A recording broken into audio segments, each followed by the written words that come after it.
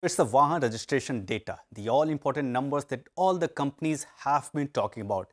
If you remember, after the Q2 results, most companies in their commentary did mention about that more than wholesales, the numbers that matter the most are retail sales. And taking the cues from there, we have here tried to analyze the Vahan registration data for the month of November. Let's see what those numbers indicate. In a nutshell, on the demand perspective, it's a continuation of what we saw in the month of October Two-wheelers remain the biggest outperformer followed by tractors, whereas demand for passenger and commercial vehicles remains muted. Now let's come to the numbers and before we talk about that, do remember the comparison numbers are for the entire month whereas for this month, the data is for 25 days so far. So starting with two-wheelers, the pickup in rural demand seems to be reflecting in the numbers of Hero MotoCorp total registrations for Hero MotoCorp have already surpassed the numbers of October and are just 3% lower than November 2023. For TVS Motor and Bajaj too, the registration details are looking healthy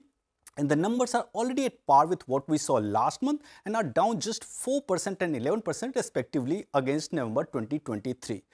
Royal Enfield, while it's currently underperformer amongst two-wheelers, but the data of last few months indicates that Royal Enfield sees a surge in registrations during the last few days of the month. The next in the list are tractor segment. Here too, registration trends are looking healthy with 5 days to go in this month. For M&M tractor, registrations are down less than 10% both month on month and year on year. And for Escorts, the decline is slightly steeper in comparison to M&M. It's down in the range of 15 to 17%. Shifting to the segments where demand concerns remain are passenger and commercial vehicles. With only 5 days to go this month, most companies are seeing sharply lower registrations. The numbers are down in the range of 40 to 52% month on month and are down 21 to 40% year on year with Maruti and Tata Motors looking the weakest.